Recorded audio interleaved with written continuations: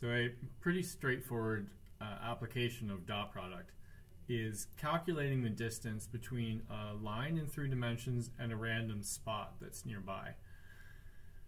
So I want to just work through the construction of this before we actually do any calculations so you can sort of get the idea of what we're after. So first off, there's some point and I've named it M. So that's here. And then I have a line going through space like so. And that's this line here. Now the distance I want to get is how far I am from here to here. What is that distance? So there's a few little facts that you need to be able to, to figure out here.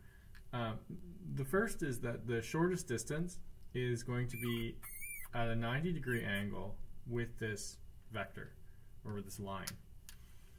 So if you think about that, if the only way to make this not 90 is to have it swing either this way or that way, and as I swing, the length here of this hypotenuse is, is getting longer.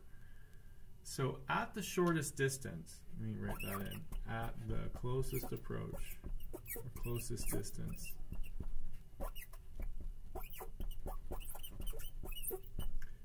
um, this vector here, which I'm going to call d, d for distance, d is perpendicular to the line.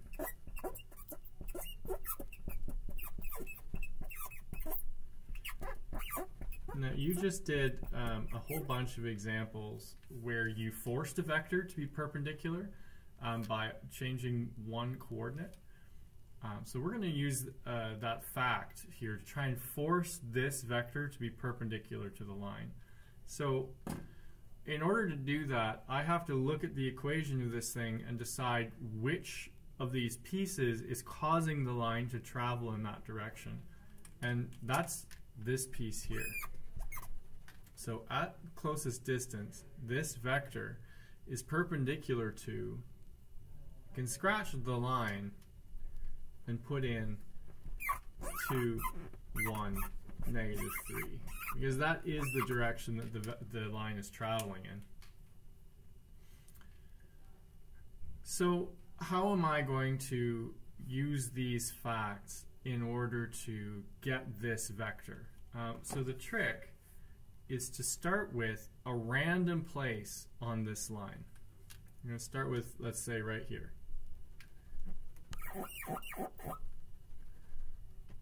And I'm trying to get to there. So that's that's this line drawn from some other place that is not the shortest spot. I'm going to construct this using a vector from here to there. Now, we did that in the very first chunk of this independent study. I think it was part two, where the, the uh, vector from one place to another is where you start. So that's somewhere on the line. Subtract where you end up. So if I can put this equation in here and then subtract the coordinates of m, I'm going to have an equation for this particular uh, vector. And then if I can say that the dot product between that equation and this direction vector, or the direction vector of this line, and set it to zero, so it's perpendicular, then I can choose the coordinates of p, right? I'll be able to calculate the p value that gets me to exactly that spot. That's the idea. So I'm going to start from the top, and I'm going to try and work through this numerically so that we can see how this works.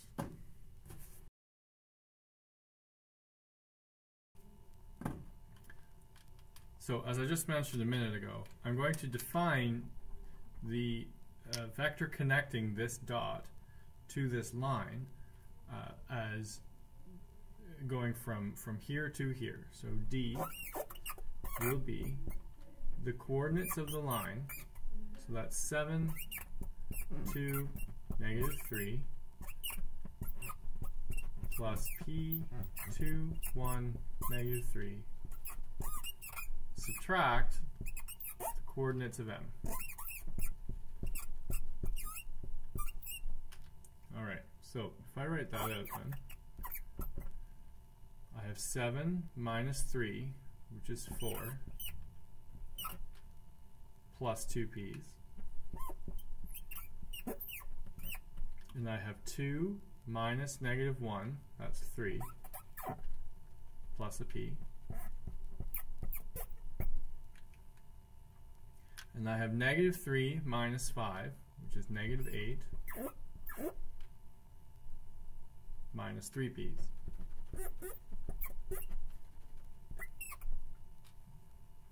Alright, so there we go.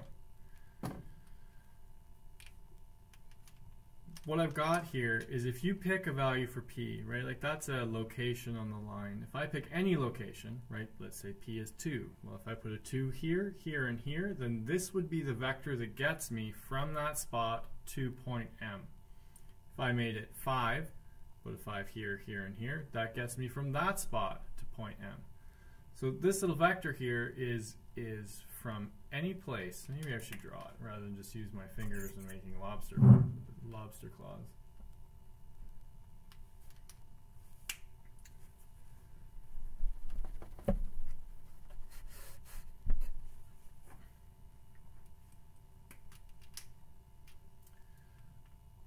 So if p is 2, so say you're here when p is 2, then, then that's what d is giving you. Say if p equals 5 would be here, then that's what d is giving you. And if p is 10, then that's what it's giving you. They're all pointing towards M. So the idea here is that uh, looking at this diagram, and which is not necessarily to scale, there's some value between here and here where that vector would be perpendicular to the line. So I'm going to try and find that place by using the fact that if two vectors dot product is zero, then they must be perpendicular. So what I'm going to do is I'm going to dot product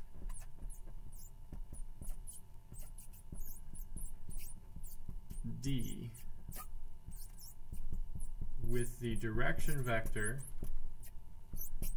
of the line.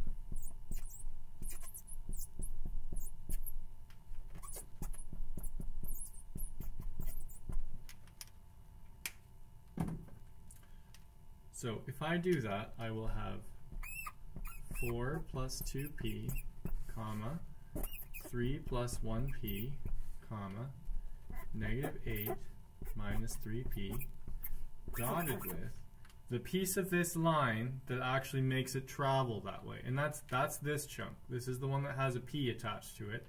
It's the one determining how many steps you've gone. So dot with 2, 1, negative 3. So dot product is you take your x's, multiply your x's, y times your y, z times your z, and you just add them all up.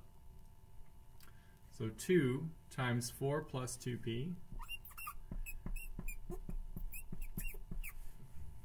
plus 1 times 3 plus 1p plus negative 3 times negative 8, negative 3p I'm going to have to do some expanding into the brackets. 2 times 4 is 8. 2 times 2 is 4 p's. Plus 3 plus 1p. Minus 3 times negative 8 would be positive 24. Negative 3 times negative 3 is positive 9 p's. And if I look, I have a bunch of things with a p attached and a bunch of things that do not. So 8 and 3 is 11. 11 and 24 is 35. And 4 plus 1 would be 5. 5 plus 9 would be 14 p's. So I took two things that were vectors, did the dot product, and I ended up with something that's a scalar, which is kind of handy. Especially when I use the fact that this is supposed to be perpendicular to that at the closest approach. So you dot product D with the direction vector of the line and set it to zero. To force perpendicular lines.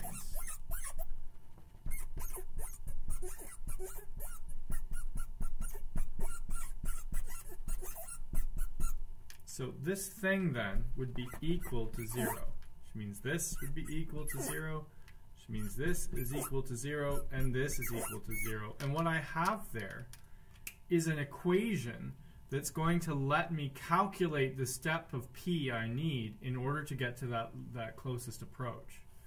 So to do that, I'm going to kick the 35 over,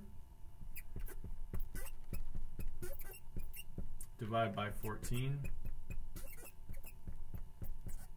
Now those both divide by, by 7. That ends up being negative 5 over 2. Alright, so when p is negative 2.5,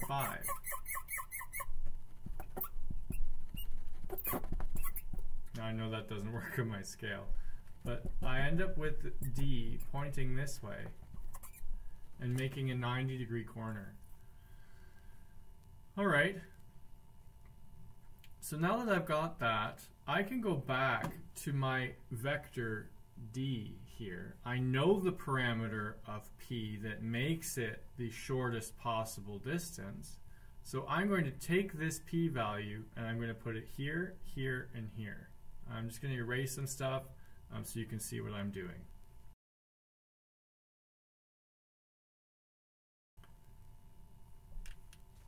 So I'm going to take this fraction, I'm going to put it in here, and here, and here.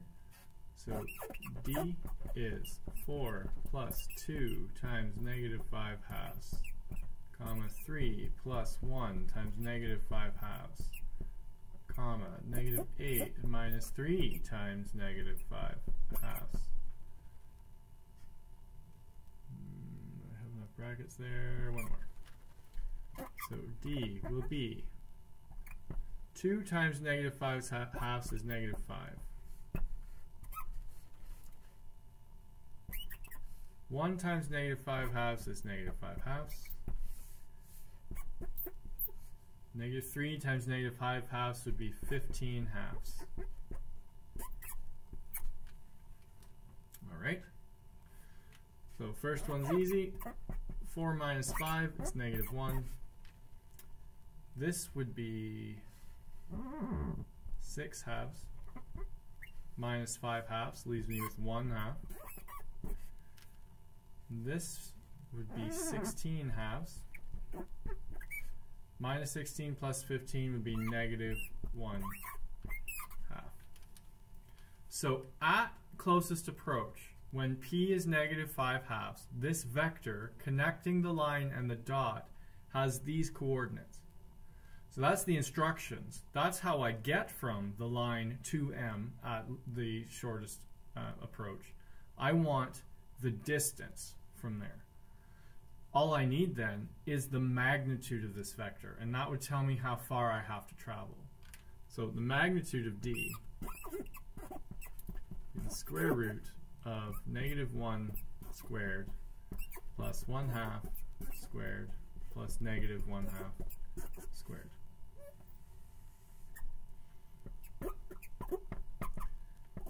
is 1 plus a quarter plus 1 quarter. 4, that's 6 quarters.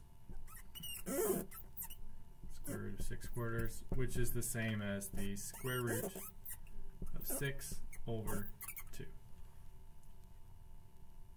So there you have it. We started off by drawing the line in, in general and picking a random point on it. We used that random point to construct this. A generic vector, right? You tell me p, the, the coordinate p, and I will tell you where you are on the line. Then you use that to connect to this m. You pick a p, and I will use this thing to tell you how to get from that place on the line to this spot you've labeled m. Then I did their dot product and set it equal to zero to help narrow all those pathways down to the one that met the line at a 90 degree angle. Once I had that p-value in, I get the actual vector connecting the line to the dot at its, at its point of closest approach, and then secured the magnitude of that vector to tell me how far the dot is from the line. So we can say then, after all that work, that this point m, 3 negative 1, 5, is root 6 over 2 away from this line. And if you'd like in decimals, uh, root 6, 6 is like 2.7 or something. 2.449 divided by 2 It's about 1.22 units.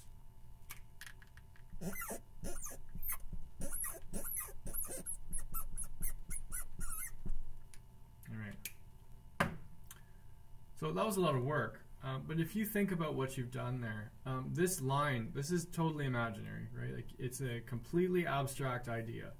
Uh, a pathway connecting two random points in space.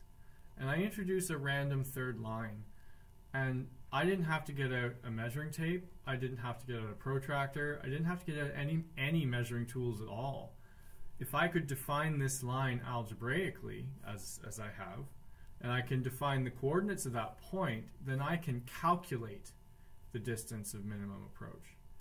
And that's far more useful in engineering and physics applications than having to actually build this thing and get out my tape measure um, to try and figure out what it is. So if you can appreciate how like how powerful this is in in determining distances, which then will be used to determine forces, which will then be used to determine energies required, etc., etc. All because you modeled it with mathematics instead of having to build the thing physically.